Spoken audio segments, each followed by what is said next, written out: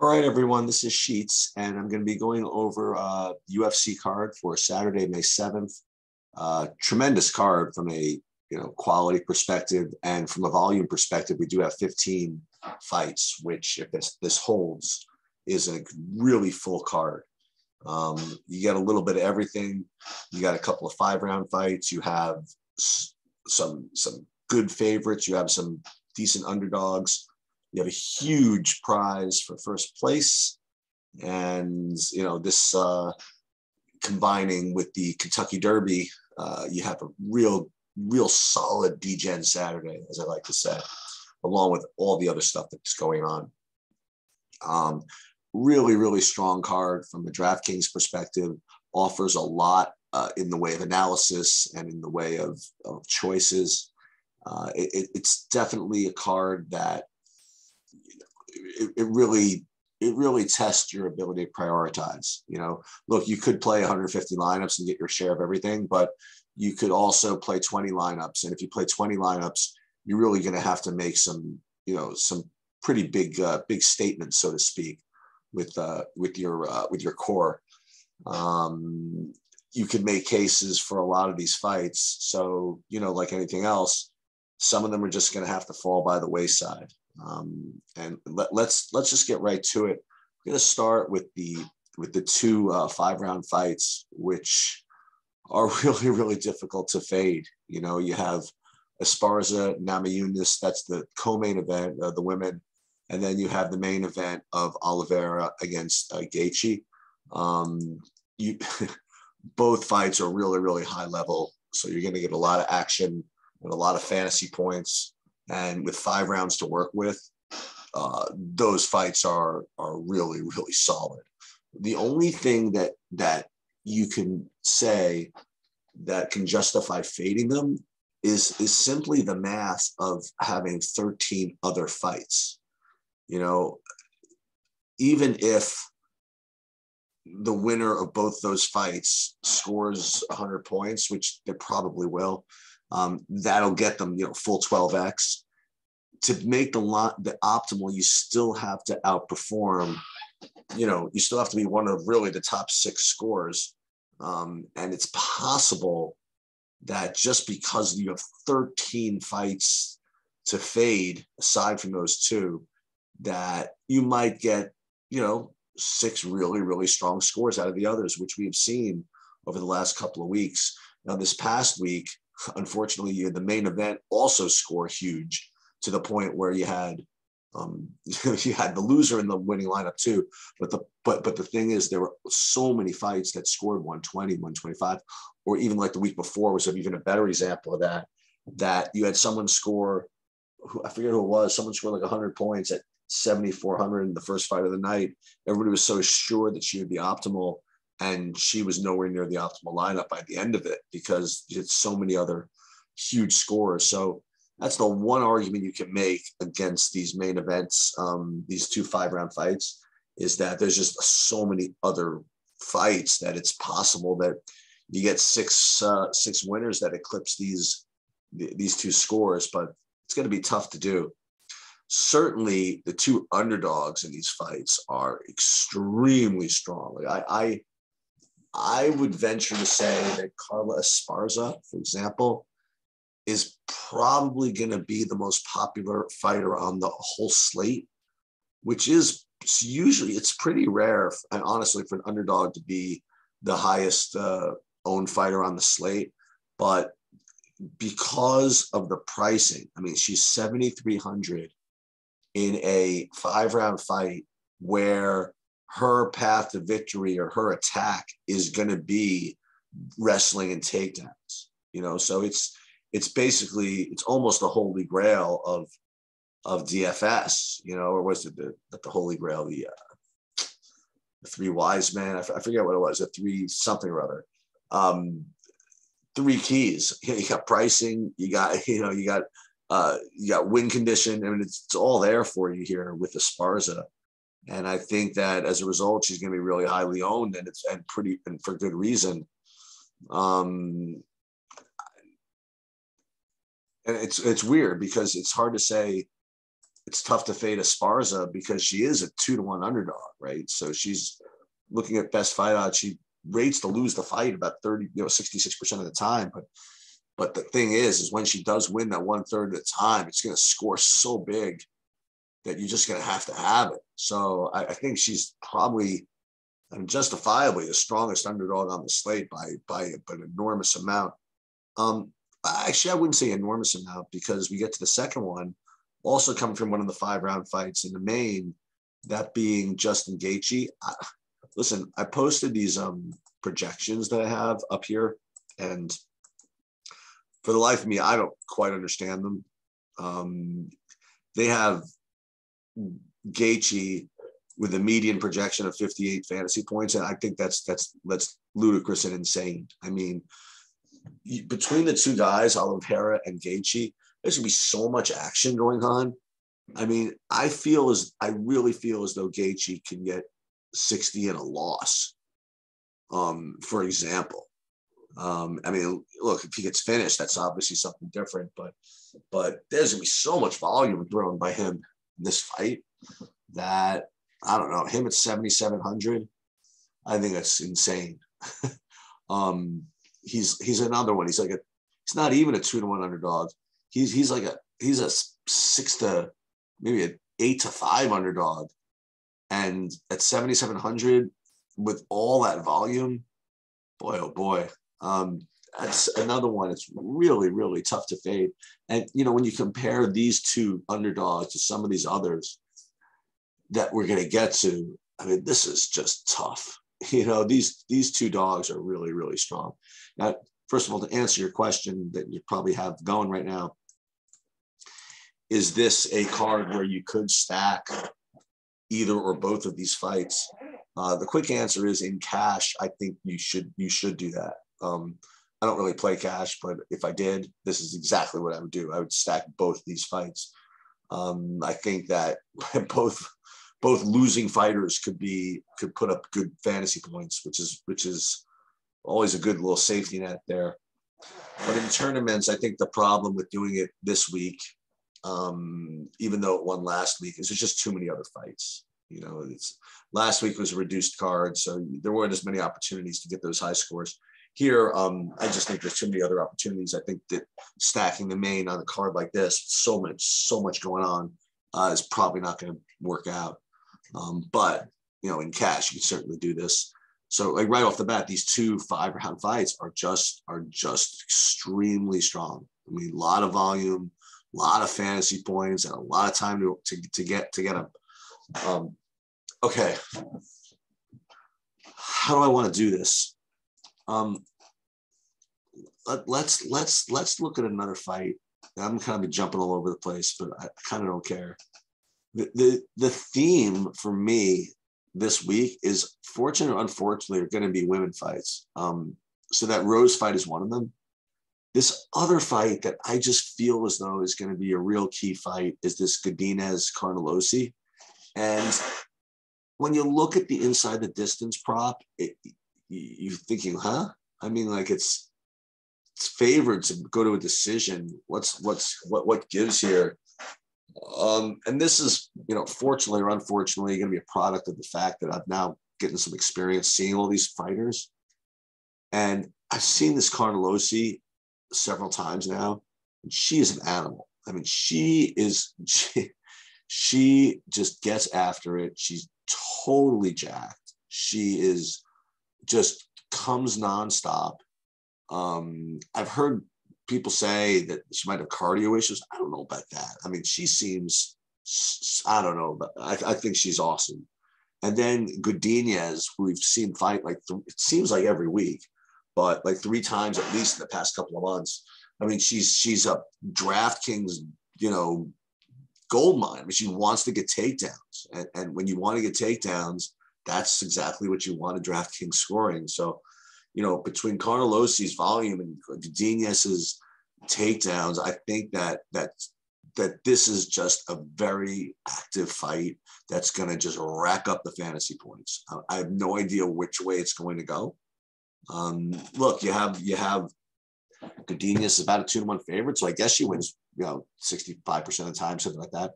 But I'll tell you this: if Carnelossi wins, she is going to score a ton. And I think that if Godinez wins, I think she's going to score a ton. And I think this is going to be a really good key fight. And this is, I'm looking at Godinez here, and she's I'm looking at 12% ownership. And even um, Carnelossi, oh, well, 25%. I mean, that's that's a little chalkier, but still. Um, I think that I think you're going to want to get somebody from here. Uh, another one which I kind of have an opinion on is this is this Gatto Cortez fight. So this is I, I just this is this is what I've become now is is someone who just watches the industry and just kind of fades it. Um, you know, I'm looking at the at the win odds here, and it says Cortez minus 145.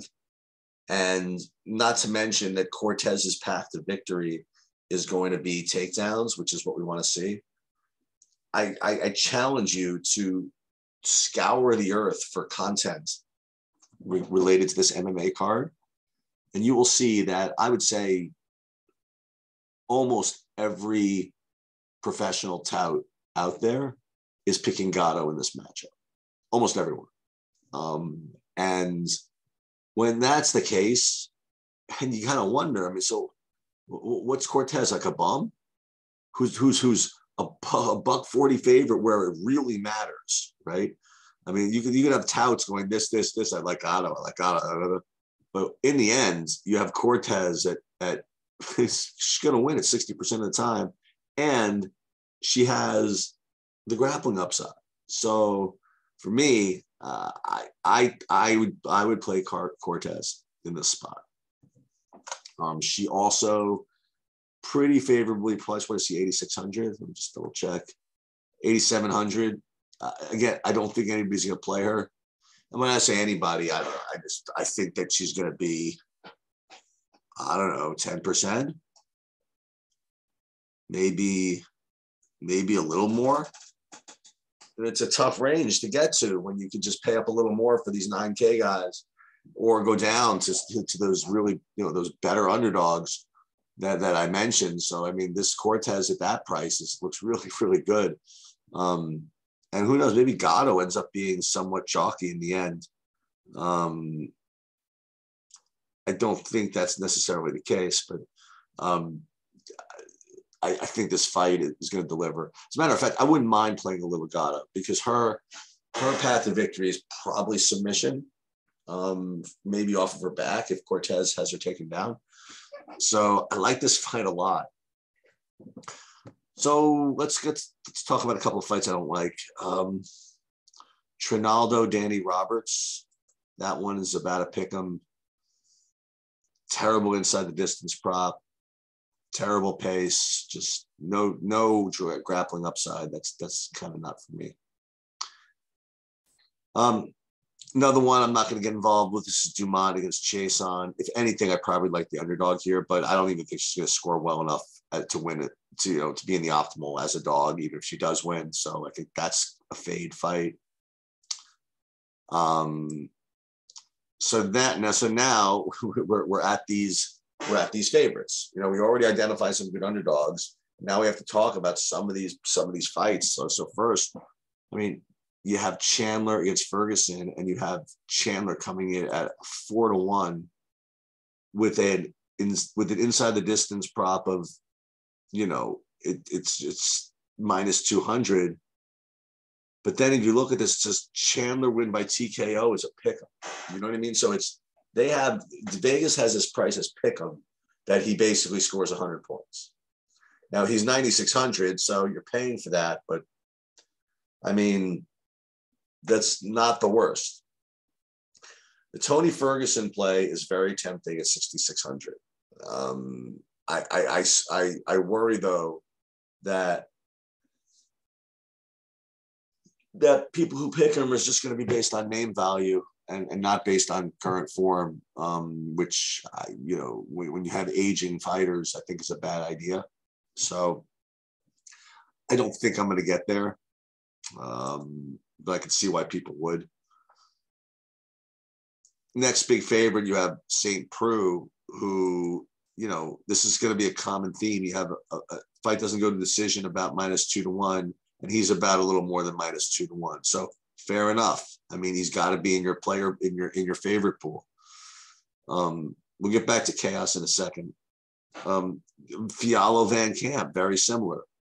You know, very similar to to Chandler, right? Four to one favorite, about a pick him to win within one and a half rounds. I don't see any difference between Fialho and Chandler.